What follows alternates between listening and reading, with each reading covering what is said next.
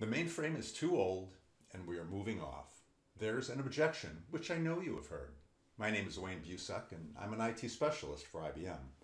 While some clients have started down this road, very few have successfully finished that journey. Why? Many reasons. Here are just a few. To begin with, the mainframe supports all of the development processes, tools, and functionality that are available on other platforms. IBM's R&D investment in the mainframe is significant.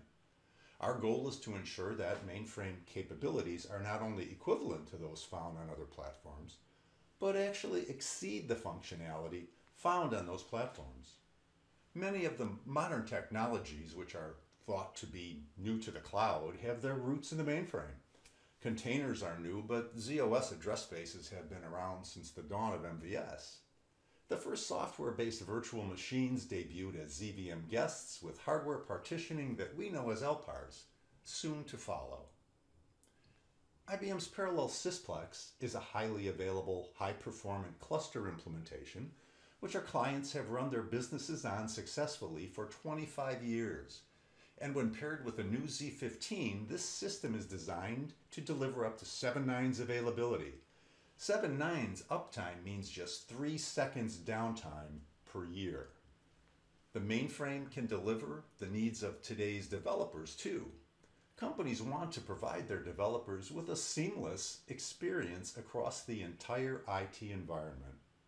This includes using new DevOps tools and procedures to quickly push applications from development to test to production. There are companies managing their mainframe assets, COBOL and REXX programs, even JCL in the Microsoft Azure cloud, while being able to deploy that code to their mainframe as part of a CI-CD pipeline.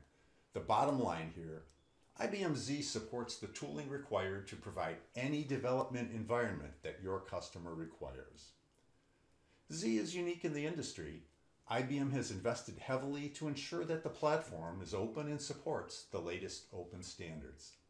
REST, ODBC, Java, Python, Perl, CI/CD pipelines, automation and AI are all available locally on Z.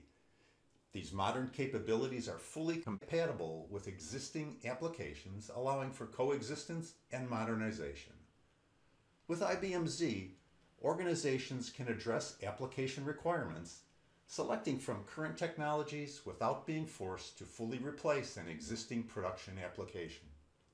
Thanks for watching, and remember, 80% of the world's corporate data resides or originates on IBM Z.